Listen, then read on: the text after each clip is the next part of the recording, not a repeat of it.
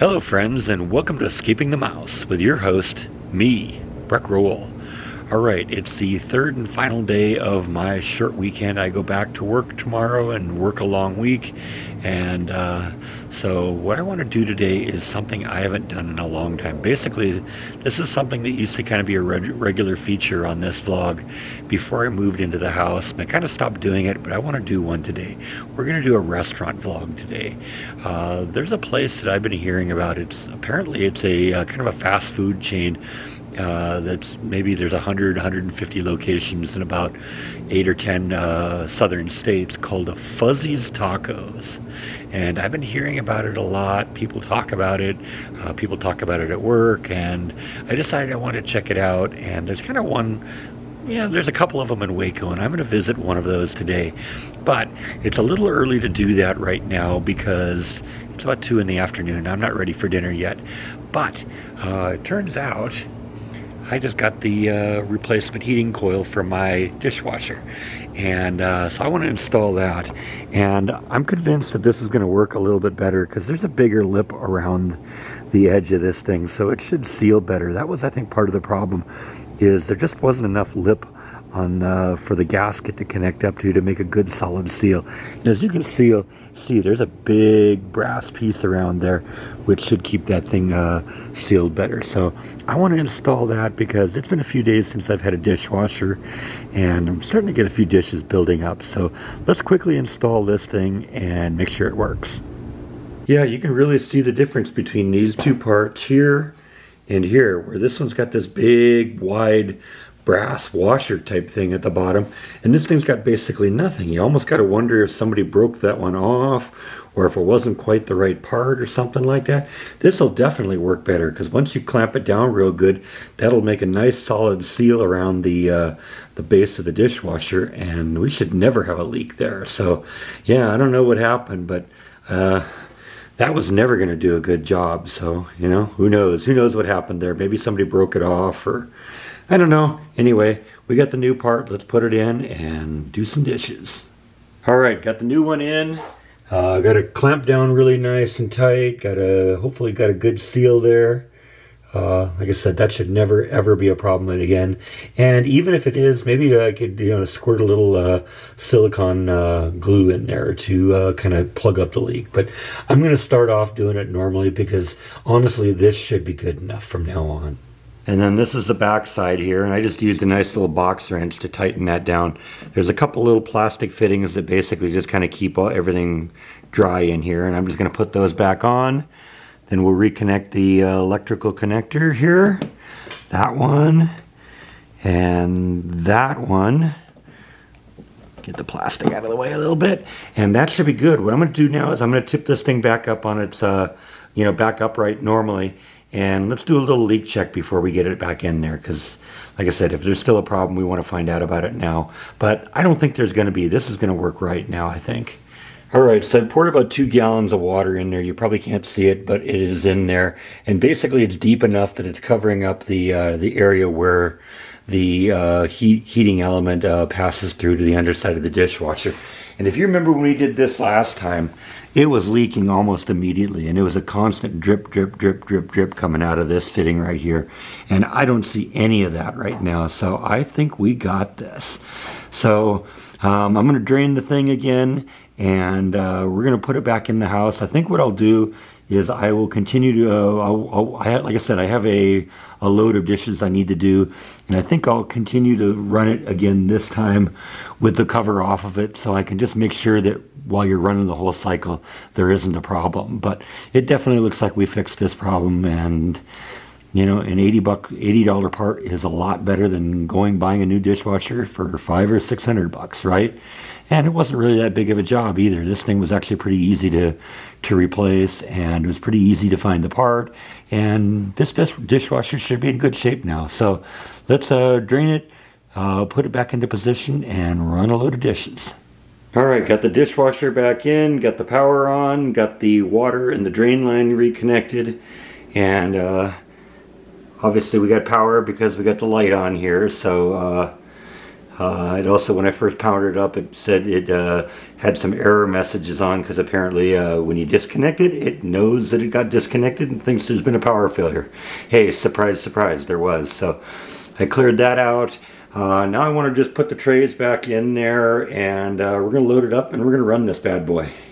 All right, all back together, all nice and pretty. Man, I, will admit to you, I never expected it was going to be uh, two days worth of projects uh, to uh, get to, to just get the thing to stay in there properly. But you know what? That's sometimes what happens. You work on one little part of the project, and all of a sudden you discover another problem. So, uh, like I said, I'm going to run it with that base plate on the bottom disconnected right now, and we're just going to make sure that there aren't any further leaks. So, what I'm going to do is I'm going to fill it up. We're going to run a dishwasher cycle and uh, we'll come back after we go to go get some tacos and we'll make sure we still don't have a leak. All right, so what I've got, I've got it all back in there. I just kind of put a piece of paper towel under there. You can see that right here. Therefore, if there's any drips under there, it'll be really obvious that there's still a problem. But I don't anticipate any further things here. Now, it's been a while since I've run a load of dishes, so I'm going to end up having to probably run a couple loads. I filled this thing up, and and I still got a lot of stuff that needs to go in there. So uh, we'll run one of these loads and go to go get some tacos and come back and see how we're doing, and then we'll hopefully be able to run another load tonight. So uh, I think this is about done, but we'll find out.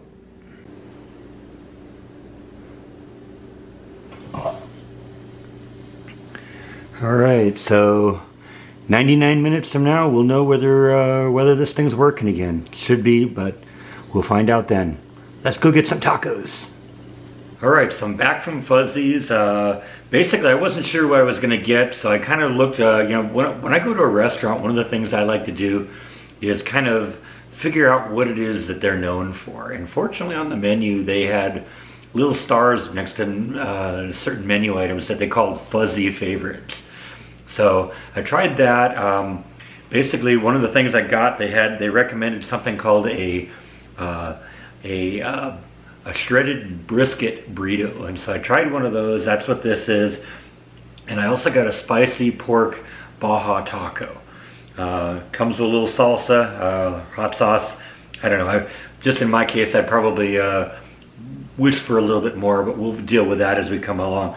Now, uh, they also serve, uh, and this was an unusual for restaurants, uh, for fast food kind of places, but they also serve margaritas. So I actually got a margarita, and this they call this a fuzzy rita, and it's their house uh, house margarita. And so I wanted to try that and see what that was.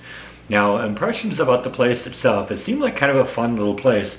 Um, I know I initially called it kind of a fast food place, but this is kind of straddling the line between fast food and uh, an actual sit-down restaurant. It's also looks like it's a bit of a sports bar because uh, a big part of the restaurant is uh, dedicated to the uh, the bar itself, and there's you know they got TVs all over the place playing uh, playing football games and baseball games and whatever it is it's on. I would guess that's probably a big night on Baylor Baylor football nights and stuff like that, but. Uh, definitely be it seems like a fun place to go and visit.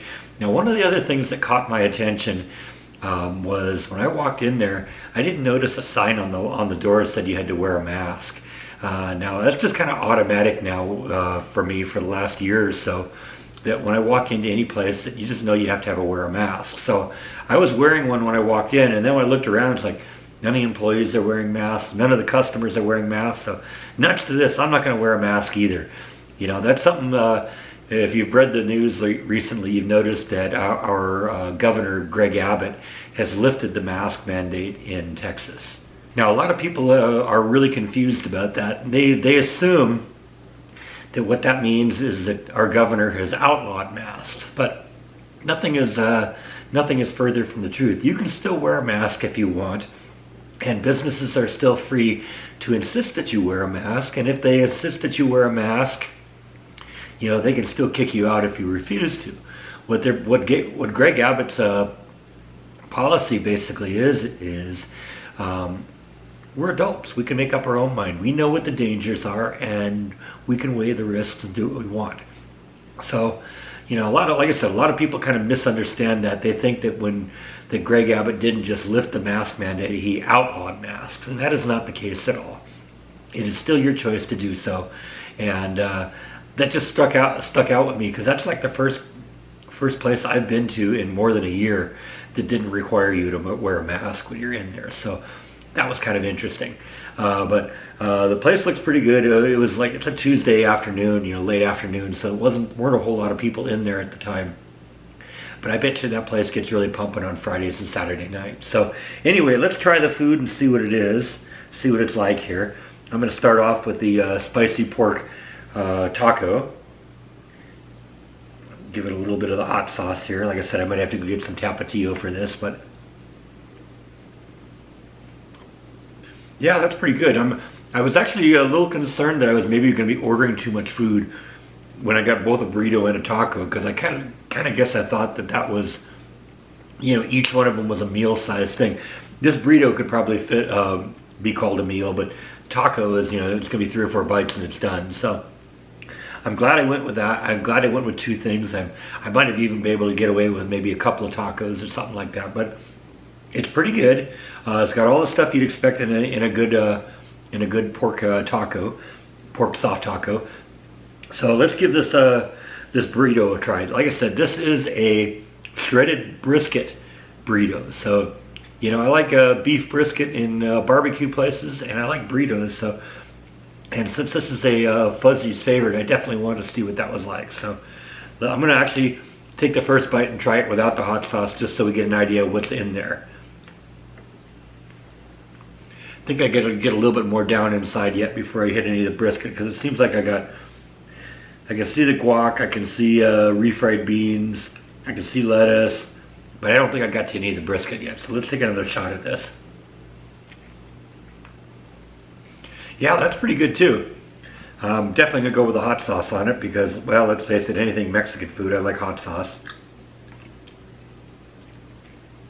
Yeah, that's pretty good. I never would have thought of putting beef brisket in a burrito, but seems to work pretty well. So definitely a hit there. Um, let's try out this margarita here and see if this is any good. Like I said, this is one of their uh, home things here.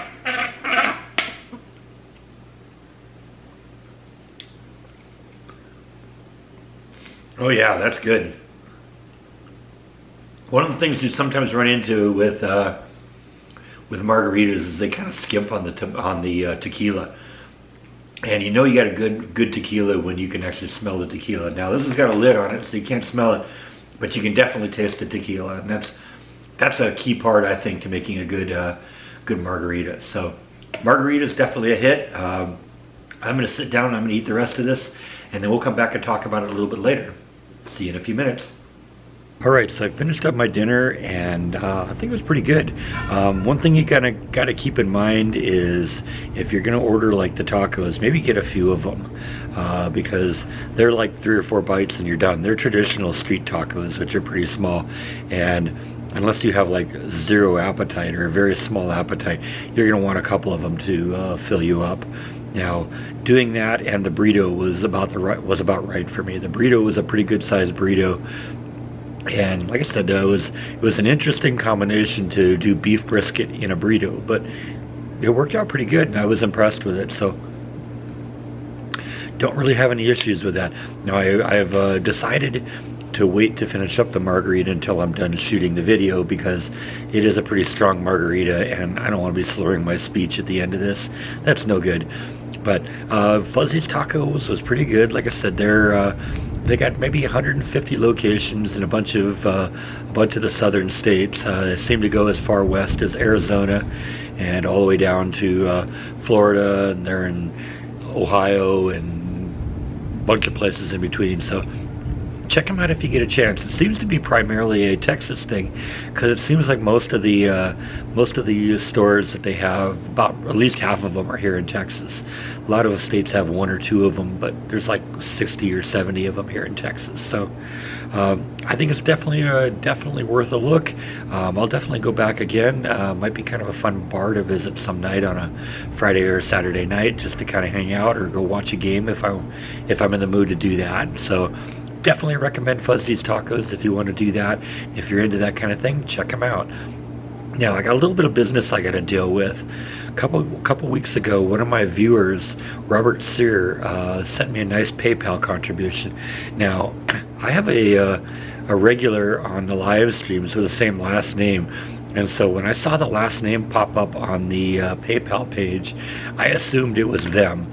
And since I usually talk to them on the live streams, I figured I'd hold off and thank them personally on the live stream. Well, it turns out they aren't the same people. It's just somebody with the same last name. So I apologize, Robert. Thank you so much for your PayPal contribution. And I hope you understand why I made the mistake and didn't get back to you a little bit quicker. So I think that's all that I have for today. Thank you as always for watching, and I'll see you next time on Escaping the Mouse. Good night.